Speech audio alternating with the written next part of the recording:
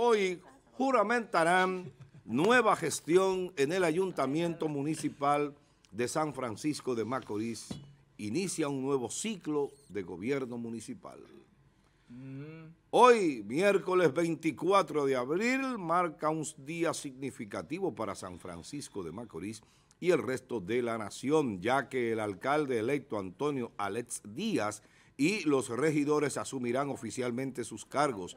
Después de una misa programada en la Catedral Santa Ana, se llevará a cabo en el Ayuntamiento la ceremonia de juramentación del nuevo Consejo Municipal para el periodo 2024-2028, así como el bufete directivo para el periodo 2024-2025.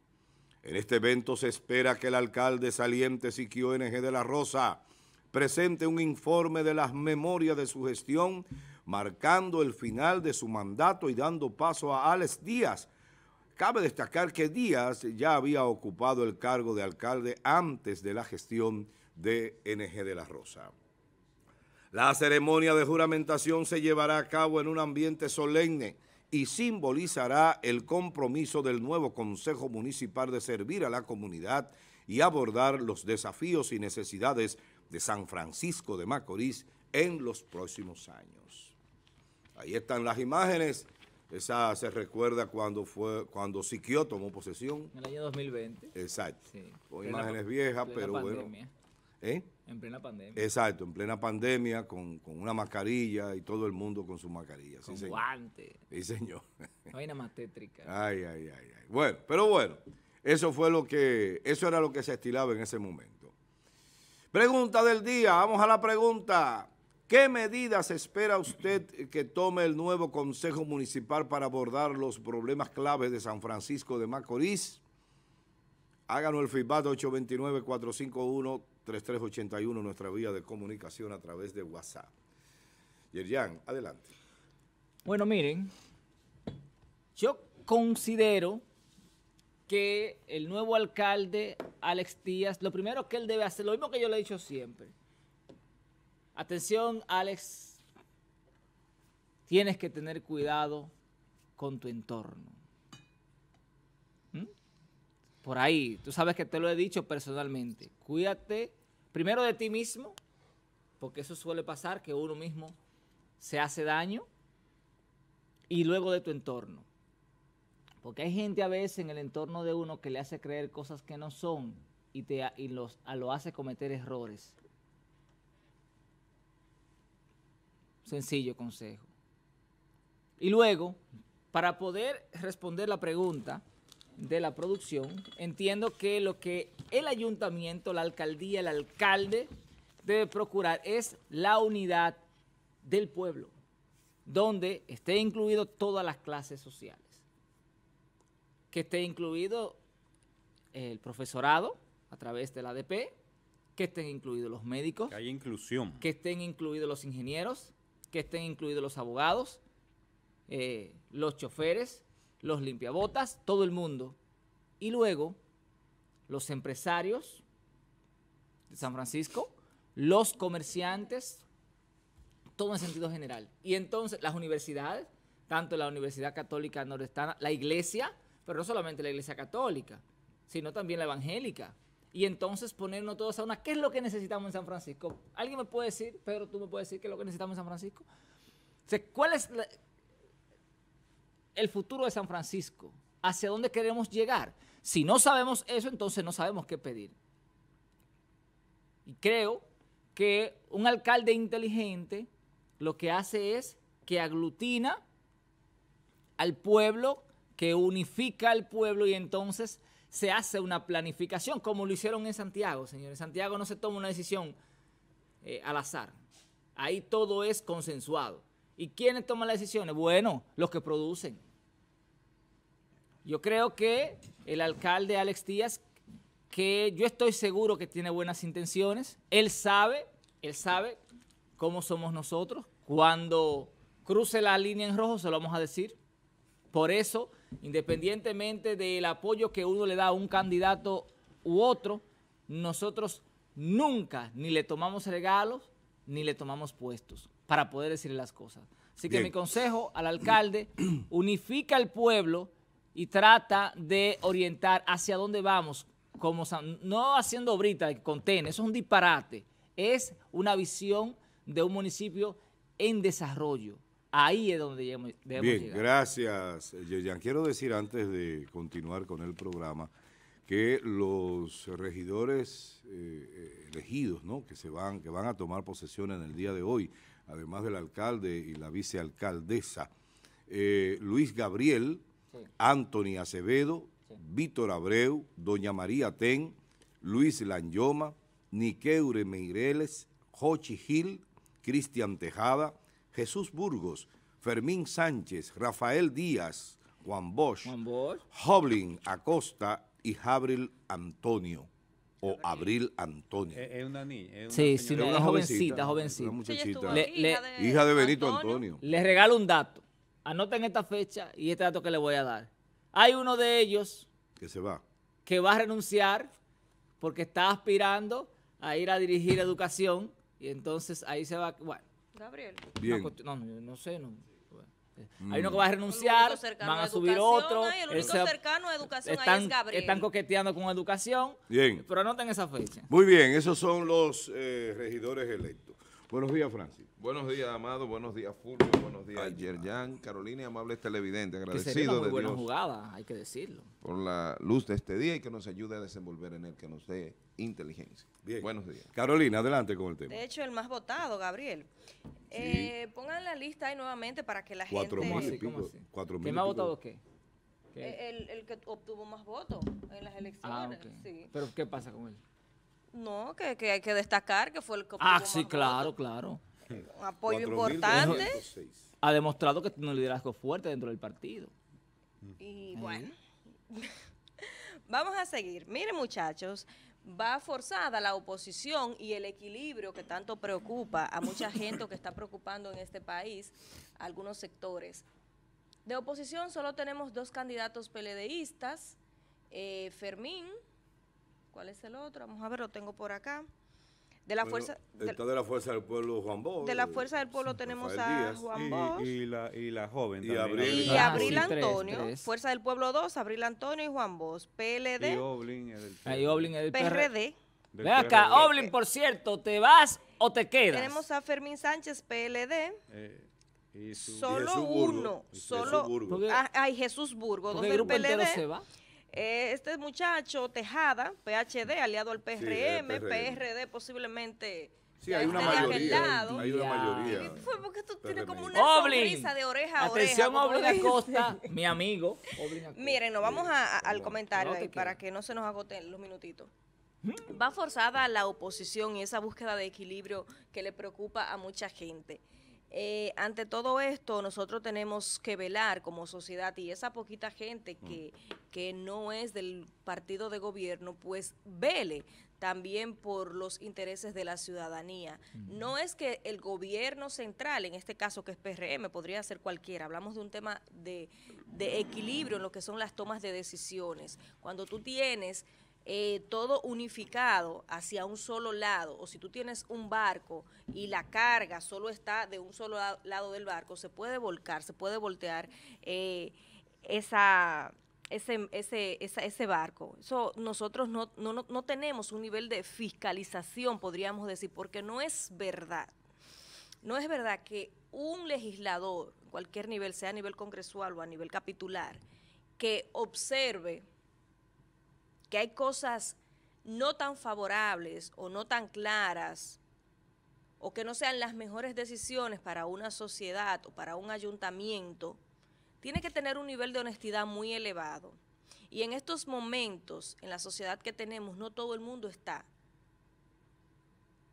o tiene el interés de echarse partidos encima, enemigos de su partido encima, por un asunto de defender lo que podría ser correcto. Y ese es el miedo que estamos teniendo. Vamos a tratar de ser un poquito optimista, ¿verdad? Vamos a tratar de ser un poco optimista para que nosotros podamos tener un ayuntamiento y atención la gente Atención a los ciudadanos de San Francisco de Macorís. Para que nosotros podamos tener un ayuntamiento mínimamente equilibrado en lo que son las tomas de decisiones para el bienestar de todos nosotros. Este pueblo necesita continuar en, ese crecimiento que ha venido teniendo en los últimos años y esto se ha debido a varios factores. Tú mencionabas ciudades como Santiago, en lo que tiene que ver con la toma de decisiones, gestiones como la de el señor Abel Martínez, que ha sido un trabajo importante que hizo como alcalde por allá.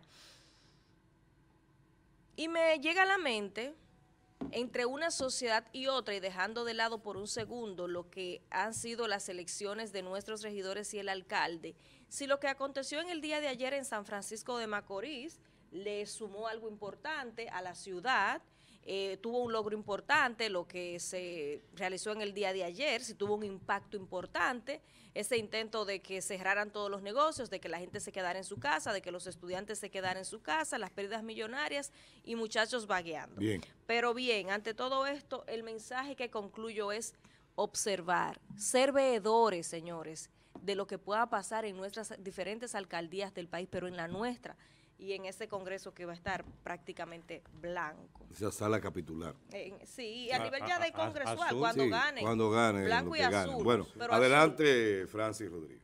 Bueno, hoy como día del ayuntamiento hablábamos acerca de esta ocasión y que no solo el ayuntamiento, un 20 24 de abril la República Dominicana ha vivido episodios de las cuales conversábamos de Francisco Alberto Camaño, el, intento de retornar la constitución y a la vez se asumió en el 2000, eh, no recuerdo la fecha en que se asumieron los días, el día del ayuntamiento para traer la toma de posesión de los municipios, eh, creo que fue el 16, eh, cuando se unificó, cuando ya definitivamente se separó la, las elecciones municipales de las congresuales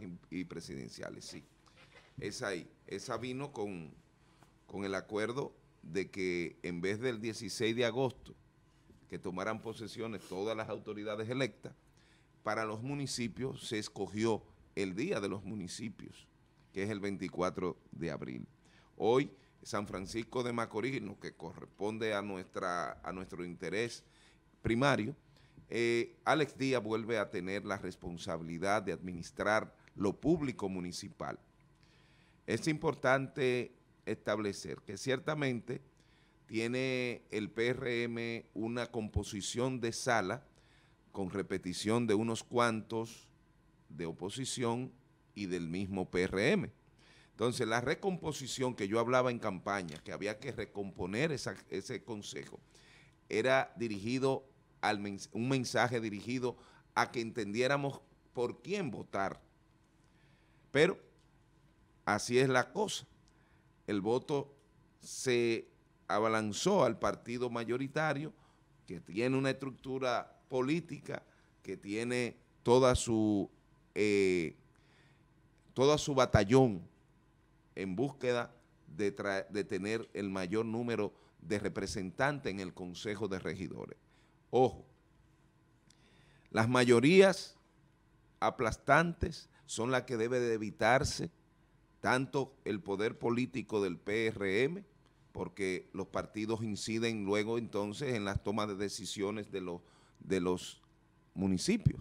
Aunque el alcalde no tiene voto, tiene voz, es el administrador, entonces la armonización de esos dos órganos, así se ha planteado en la composición constitucional, es de peso y contrapeso.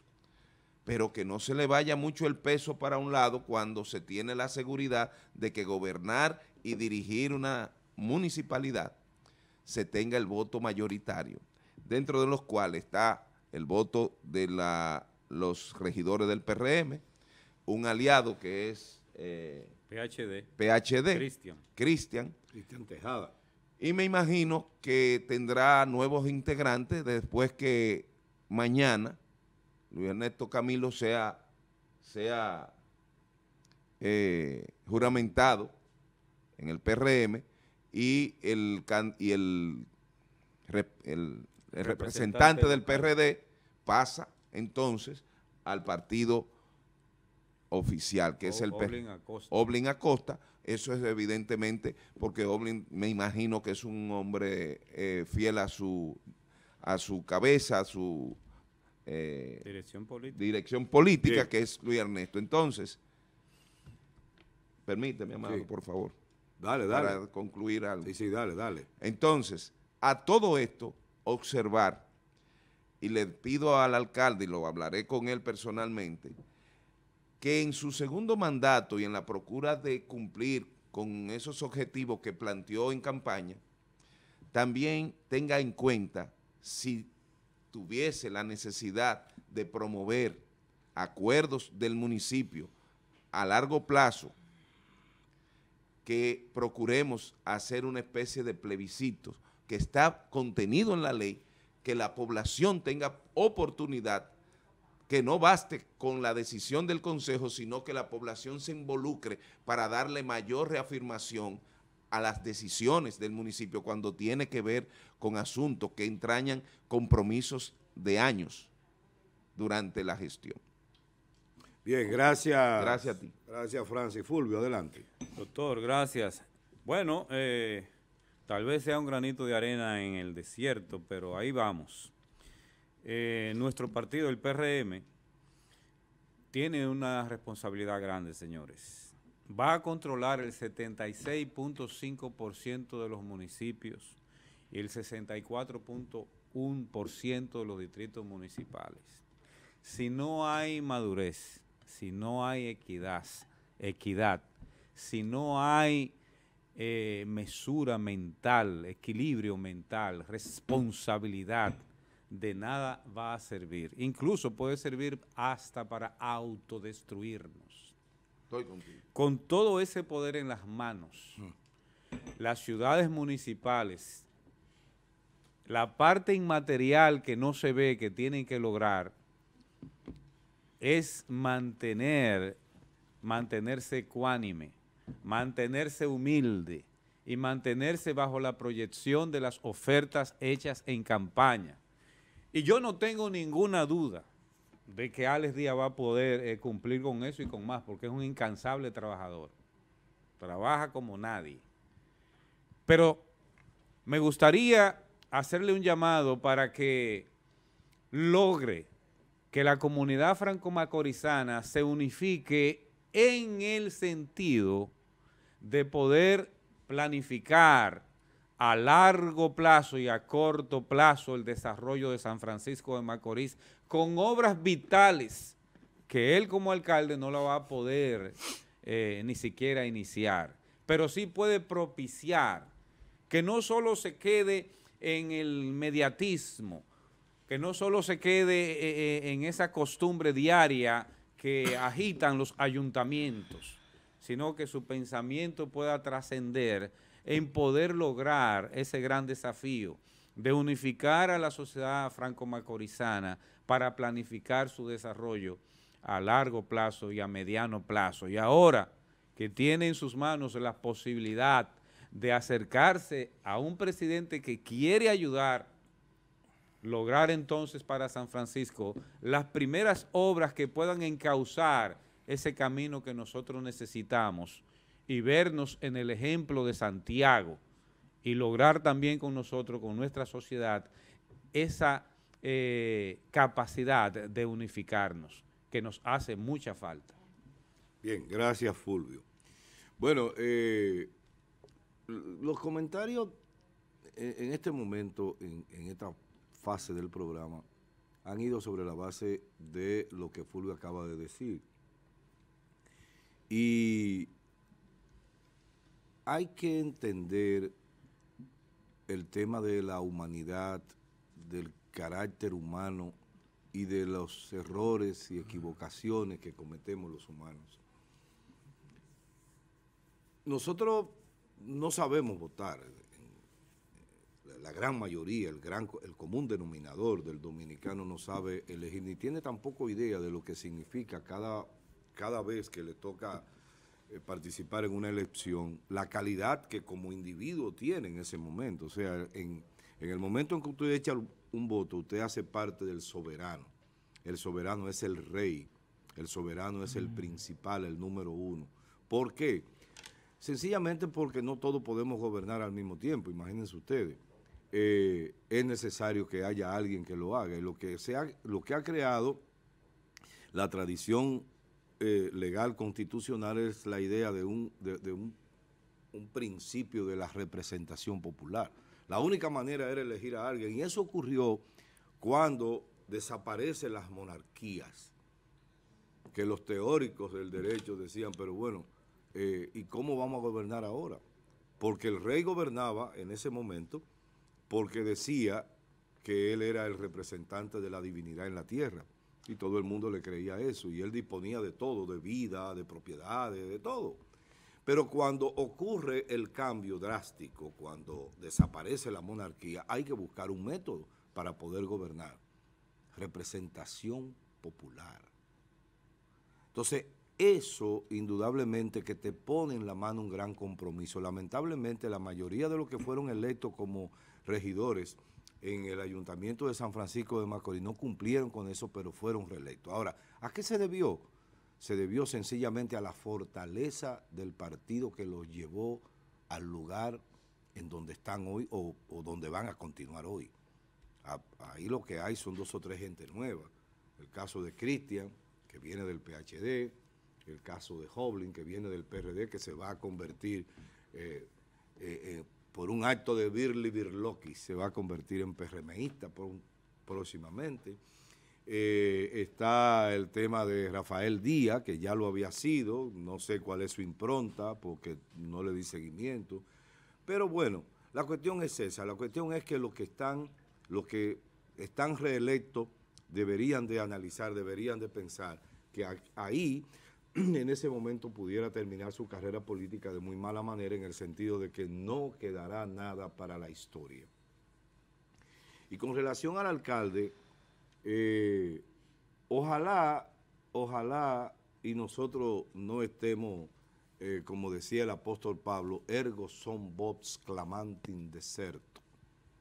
Es decir, yo soy la voz que clama en el desierto, decía Pablo. Pablo de Tarso, Saulo, el apóstol que no lo fue, pero que fue el constructor de la iglesia católica. Y Pablo decía eso porque él entendía que no le estaban poniendo caso. No nadie estaba escuchando, nadie estaba. Entonces, en definitiva, ojalá no seamos ese león que clama en el desierto, esa voz que clama en el desierto.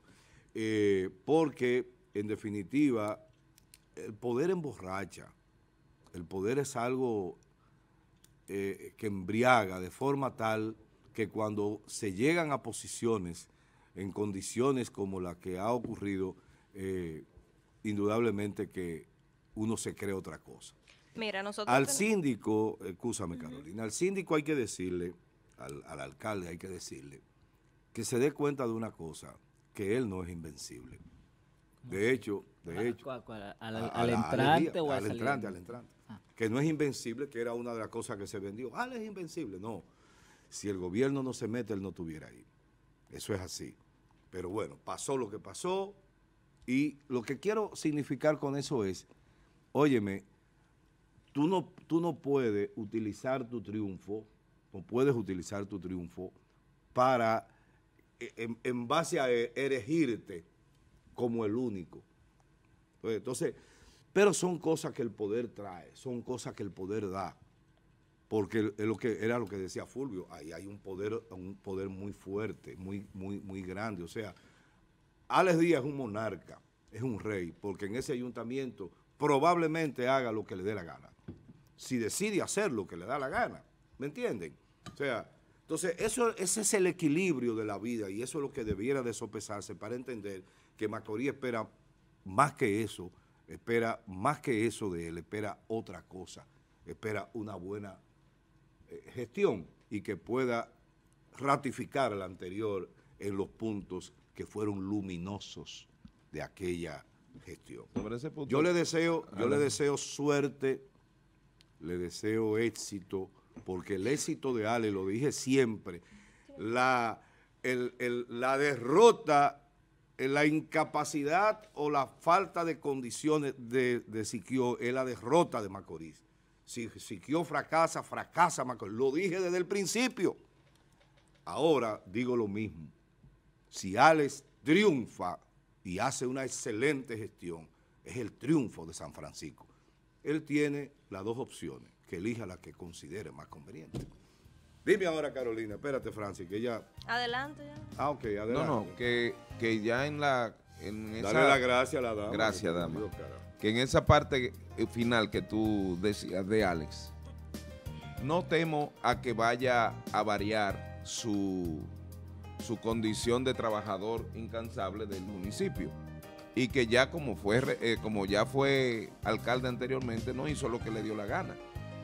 Sí tomó las decisiones que por política muchas veces no se tomaba. Y eso le valió nuestro reconocimiento en su momento, desde, esta tribuna, desde este momento. Cuando yo decía, y es lo que yo quiero advertir también al partido, que sabemos que los municipios terminan siendo las soluciones salariales de muchos compañeros que van a presionar para estar ahí. eso No, va a no, pasar. eso se La sociedad Eso se resolvió en este y el gobierno. PRM deben saber que los municipios, los ayuntamientos tienen un tamaño. Bien. Eso se Incluso resolvió, solamente Francis, tienen Francis. una capacidad económica para destinarlo no- a empleos. Eso se resolvió 90 mil pensiones.